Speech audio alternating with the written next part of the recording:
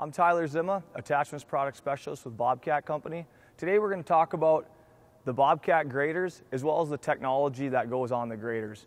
We have the sonic and slope system as well as the laser system on this grader and the 3D ready system on this grader.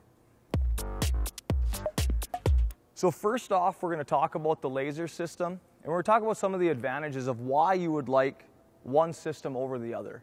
So with the laser system, you're going to be working with flat planes.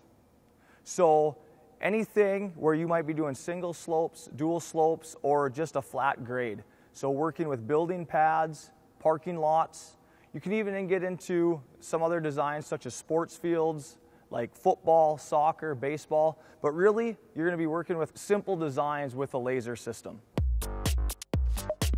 Now another system that we're going to talk about is the sonic and slope system. So we have both systems on this grader, but you can only run one at a time. They cannot be ran simultaneously. You're either running laser or you're running sonic and slope. Now the sonic and slope is a little different. This runs off the sonic tracer. Now the sonic tracer really is going to give you a distance from the ground and maintain that. So it also has some other sensors on it that will calculate your cross slope and your forward and aft to make sure that you are maintaining true to the slopes or the grade that you have predetermined. Now, why might you like a sonic and slope system? So this really gives you an advantage when you're covering long distances. For example, if you're doing things such as path work, path construction, golf cart paths, biking paths, running paths, maybe even some small road work.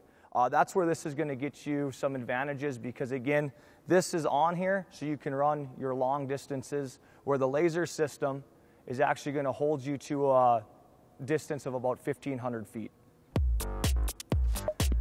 So the 3D Ready system is a little more complex or sophisticated system that we offer.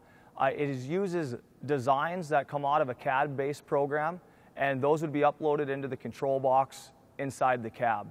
Now those designs give the operator the ability to have repeatable designs as well as changes in elevation. Now what it also gives a contractor or an operator is the ability to increase the portfolio of job sites that they're working on, whether that be larger jobs, uh, more complex designs. It also gives them the ability to work faster and more efficiently. Uh, some of those job applications would be land reclamation, residential design, and road and highway construction. Now that you have a better understanding of the systems that we offer, I hope that's helped you narrow down the system for your needs and applications.